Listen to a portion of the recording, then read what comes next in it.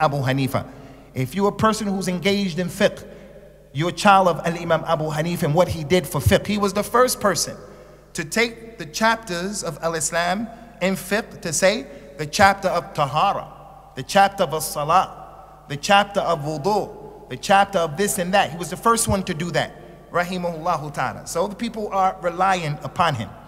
And Imam al-Dhahabi said about this statement that Al-Imam Shafi said, he said, this imam, this imama that he had, the leadership that he had in fiqh, and the precise issues of al-fiqh, they are something that there's no doubt about and people shouldn't argue regard, in regards to this issue. No doubt. And Imam Abu Hanifa was the grandfather of the fiqh for not only his madhab, but the entirety of this ummah. Does that mean that he, radiyallahu anhu wa rahimahullah, wa ghafara lana وَلَهُ غَفَرَ اللَّهُ لَنَا وَلَهُ Does that mean that he was infallible? Does that mean that he never made a mistake? Does that mean that we should take what he said when it's in contradiction to what the Prophet said or did? Sallallahu Alaihi Wasallam? Of course not. The uqala, the intelligent people from the ummah, who their fitra has not been contaminated, they know the answer to that is simple and easy. Al-Imam Ahmed ibn Hanbal, the Imam of Ahl Sunnah, Anytime they used to mention Al Imam Abu Hanifa, he used to say, Rahimahullah, kana yatarahim alayhi. He used to ask Allah for the rahmah for Abu Hanifa. Although he made some disparaging marks about Abu Hanifa later on, as you're going to see. When they told Al Imam Ahmed, Al Imam Abu Hanifa is in the prison. The Khalifa has him in the prison. And he's being ex- he's being persecuted because of his desired not to be in the government. He's being persecuted. And Imam Ahmed used to cry. And Imam Ahmed used to make dua for him. Because he knew the hadith of the Prophet sallallahu alaihi wasallam, "Man ata abwab sultan uftutina." Anyone who comes to the door of the leader, anyone who comes to the door of the leader, it's going to be a fitna for him. You'll start giving fatwas maybe that you may not believe. You may not practice your religion because you become impacted by those people. That's what our prophet said. And some people are like that. Al Imam Abu Hanifa didn't want any fitna. So he refused to be in the government position of being the judge of all of the people. Someone may come and say, You see, this is why we make takfir of those ulama who are in this government or that government. Because of that hadith, anyone who comes to the door of the sultan will be tried. The Prophet said that those people are tried. Prophet never said that the ulama who are living today are tried. They're prone to being tried in their religion, and it could happen to some. But you can't come and specify and say, he's tried, he's tried, and just eradicate all of the ulama because of this hadith. And if you were to do that, then the main student of Al Imam Abu Hanifa, his main student, Abu Yusuf, he took the place of Al Imam Abu Hanifa.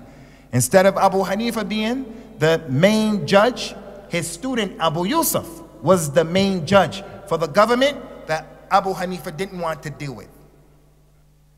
So Al Imam Ahmed, rahimahullah ta'ala, used to have love for Al Imam Ahmed, Imam Abu Hanifa. He recognized and acknowledged his position.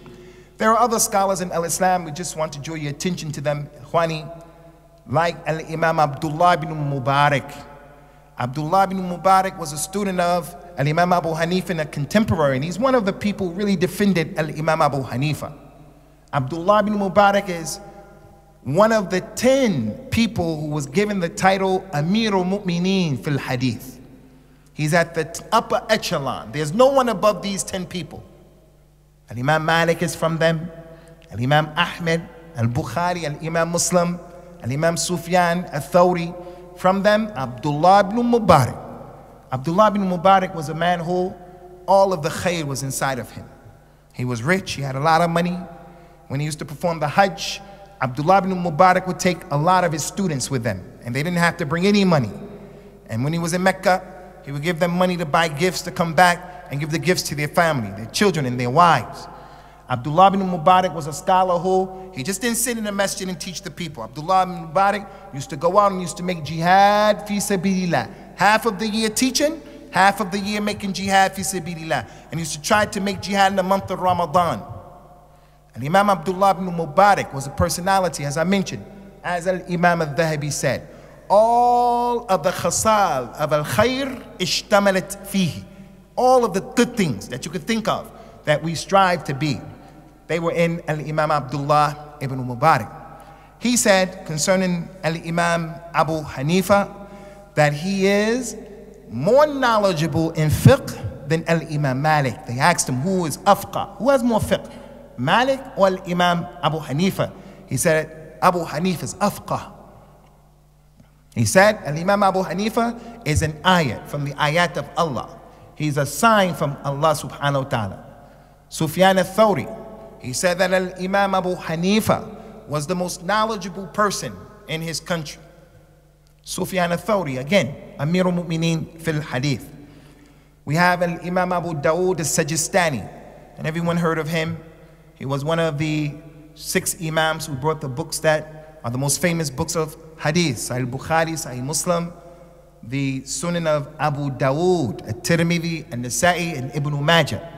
And Al-Imam Abu Dawood, Ikhwani, he, although Muslim's book is better in hadith, Abu Dawood was more knowledgeable than Al-Imam Muslim. Imam Abu Dawood, his book was way up there, and he, as a faqih and a muhaddith, he was up there. He made a dua and he said, Rahim Allah al-Imam Malikin, فإنه كان إماما. ورحم الله تعالى الإمام الشافعي فإنه كان إماما. ورحم الله تعالى الإمام أبا حنيفة فإنه كان إماما حقا. May Allah have mercy upon Al-Imam Malik because he was an imam, a leader.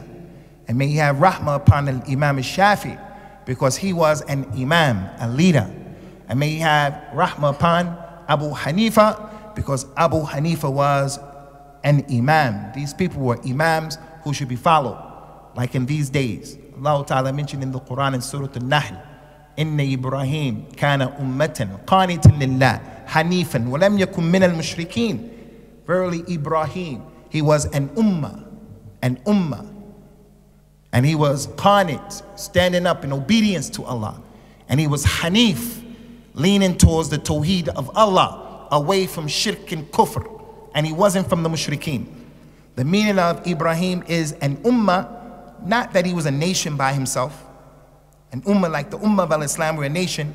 The meaning he is and was an ummah, he was an imam, yuqtada bihi.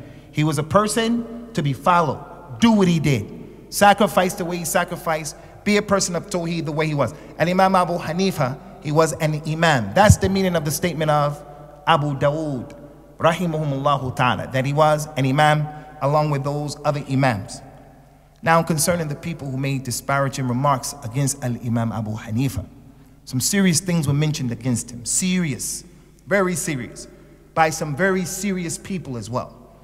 On one hand, when we see that Al Imam Malik, Al Shafi, Ahmed, when we see that Abdullah ibn Mubarak, Sufyan al Thawri, Abu Dawud al Sajistani, when we see them praising an individual, we say that these five Imams in the scale are heavy.